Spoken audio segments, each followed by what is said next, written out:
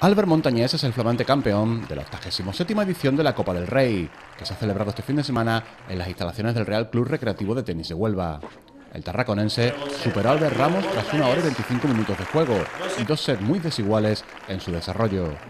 La primera manga resultó tan igualada como sugiere el marcador, 7-6. Los dos tenistas apuntaron los primeros juegos con su servicio, para intercambiar luego sendas rupturas de saque. Con 5-6, Ramos desaprovechó dos bolas de set, lo que permitió a Montañez forzar el tiebreak.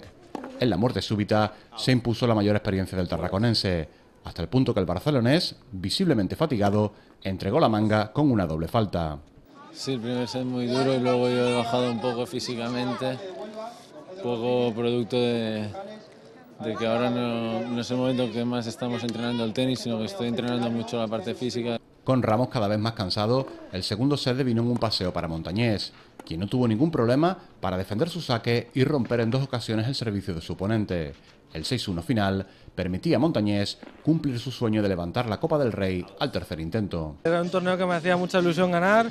Eh, después de, pues este es mi tercer año viniendo aquí y la verdad que, que conseguirlo, pues la verdad que muy feliz. Aunque hubo otro ganador, la junta directiva que preside Félix Pérez Romón, que ha sacado adelante contra viento y marea la Copa del Rey, asegurando su continuidad. Deciros que la Copa del Rey sigue viva, que el año que viene se celebrará, si Dios quiere, y que estamos ya con la idea de trabajar en ello para que vuelvan otra vez estos tenistas de primerísima fila.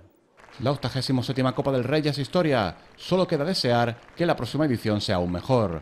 Por el tenis, por nuestro deporte y por Huelva.